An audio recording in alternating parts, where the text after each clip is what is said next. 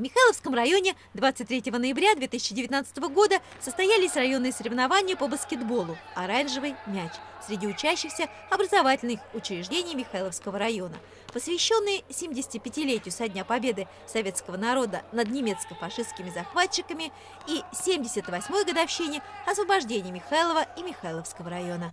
В соревнованиях приняло участие 130 школьников Михайловского муниципального района из четырех образовательных организаций.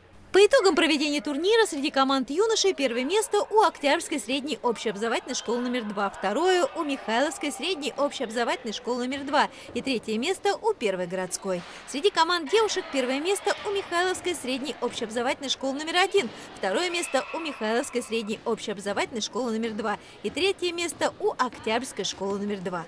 Победители и призеры соревнований награждены почетными грамотами и ценными подарками Управления образования и молодежной политики администрации Михайловского муниципального района.